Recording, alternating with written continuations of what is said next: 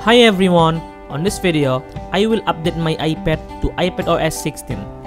Okay, please open betaprofiles.com on Safari browser, then download iPadOS 16 profiles, and click install anyway. Click allow. After the profile downloaded, go to the settings of your iPad, click general, and go to the device management you will find iPad OS profiles. Click install and restart the iPads. Please wait the iPad will restart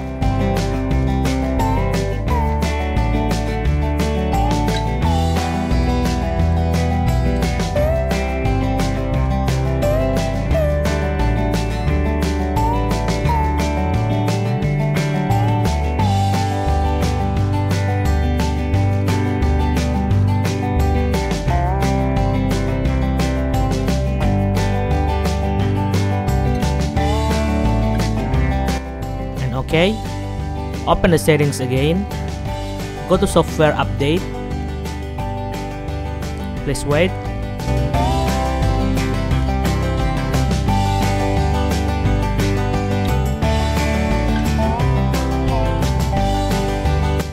And yeah the iPad OS 16 developer beta ready to install on your iPad.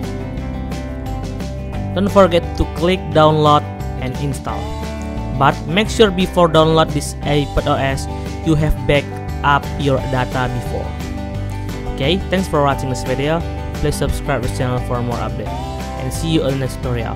Bye bye.